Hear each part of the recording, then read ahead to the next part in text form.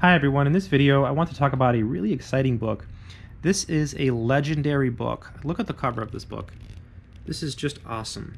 This is a book on differential equations. So if you're studying differential equations, in theory you could actually buy this book, read it, and understand some of it. This is a book from the 1800s. Let me just turn it over on the side here so you can see Differential Equations by Forsyth. Look at the binding. I wish you could smell the book. It has a very peculiar smell. Uh, it's really, really old. I mean, what a book. Check this out. Look at that. That's just wow, wow. So this is considered like the differential equations book by many people. It's a legendary book. Let's take a look inside this book. So this is the inside cover. It says Merchant Taylor School, presented by the Merchant Taylor School Company to, and then it has someone's name, for proficiency in mathematics. I mean, look at these colors. I mean, this is just ridiculous. This is like nothing like you would see today. And let me just turn the page. Look inside this. So nothing here. Let's go further in. It says A Treatise on Differential Equations by Andrew Russell Forsyth. Wow, wow. Second edition, 1888. That is so old just absolutely amazing. And again, every time I open a, every time I turn a page, I could smell it. Um, really, really, really strong old book odor. I think a lot of times uh, old books like this are intimidating. You might think, oh, they're really, really advanced. This one is, but it's differential equations. So if you know some differential equations in theory, you should be able to read this book. So chapter one is an introduction. Chapter 2 is on differential equations of the first order. Look at the long names of the sections. You know, he really, really breaks it down. Lots of little, little tiny sections. Chapter 3 is on the general linear equation with constant coefficients. Chapter 4 is on miscellaneous methods. Wow. Yeah, really, really old school the, the, the titles of these sections are very, very long and very descriptive. Uh, not something you would see in a book today. Chapter 5 is on integration in series, kind of an interesting topic.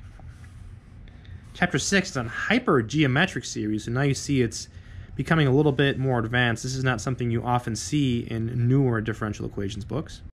Let's keep going through the contents. Chapter 7 Solution by definite integrals.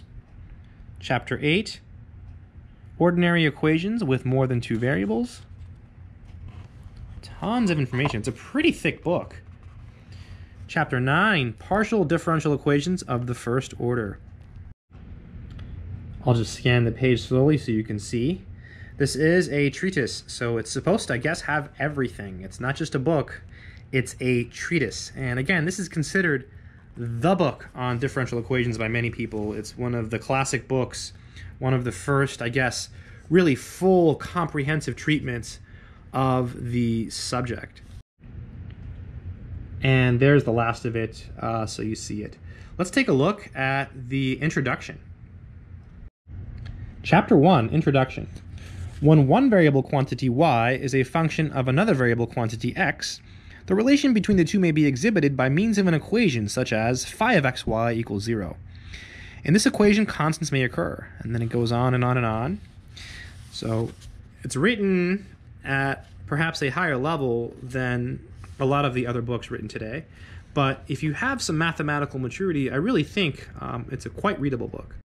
Here's the section on linear equations of the first order. So dy dx plus py equals q. So if you've taken some differential equations, you will quickly recognize that piece as the familiar integrating factor, e to the integral of big P.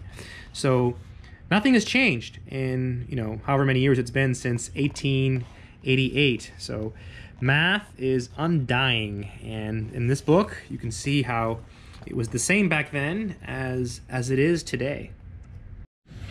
I just want to emphasize how thick this book is. I mean, this book is extremely comprehensive and it really has everything. Um, if you're looking for a book on differential equations, if you can find this for a few dollars, um, I think it's worth getting. I think I paid uh, about 20 bucks for this book, and it came from England. So uh, I think I got it on eBay, and it was from uh, an overseas seller. Uh, really, really hard um, to get uh, these old books. The book has examples, and it wants you to prove the examples. However, it does not give you uh, solutions to these examples. Now, it does give you other examples. It's just the way it does the exercises is it calls them example one, example two, example three, etc. And then you're just supposed to uh, figure it out. So there are no solutions, which is a downside. But uh, I don't think it's that big of a downside. There's other books, other DE books with solutions. You know, there's videos on the internet. Um, this book is really just like a, a glimpse into the past, um, and it's a treatise. In theory, it has everything uh, that's important on differential equations, or at least most of it. It has way more information than you would find in any uh, typical modern book on differential equations.